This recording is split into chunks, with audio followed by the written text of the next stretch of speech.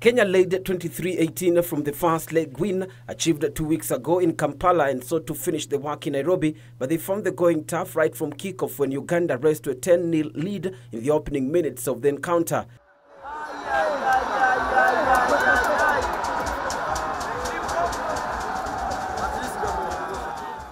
But Kenya responded, reducing the deficit with the penalty kick before Darwin Mukidza touched down to narrow the gap to 8-10. Darwin grabbed his second try of the match minutes later to hand Kenya the lead for the first time in the game.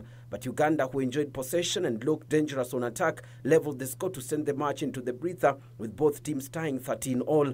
Uganda came back rejuvenated side and went ahead 2016 immediately after restart. Jacob Ojee touched down to restore Kenya's lead, but Uganda wasn't done yet, scoring two penalty kicks and two tries to ascend to a 33-31 lead with five minutes remaining.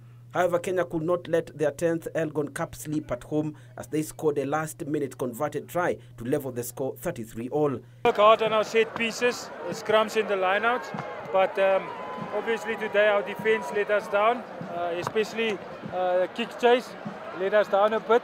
Uh, but now we know what to work on, and um, yeah, but uh, I think it's a true reflection of the game. The draw today was a true reflection, so it's good.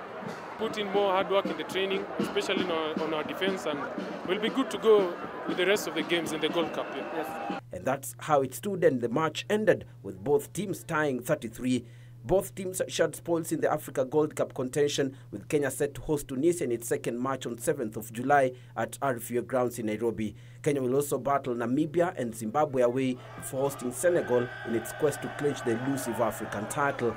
Bernard Okumu, the sport at 9. Amen.